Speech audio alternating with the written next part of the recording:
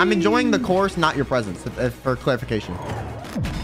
Oh shit, we did it. Oh my god, no! Shut up, shut up! Don't say, don't say yes, Right, man. We hate him. We hate him. I'm gonna divorce Okay. you right now on sight if you start liking Dr. Hakim, okay? Okay, maybe I'm doing this wrong. Hmm, I think so, but that's okay. You shut the fuck up. You're not helping. okay, let me try to think. You're doing great. Shut up. I'm trying to be supportive. Nah, you're lying to me. Hang on. Shut up, Ren. Next one. How's your life? Horrible, I can tell. True. Why do you hate Ren so much? She's a sweetheart. Okay.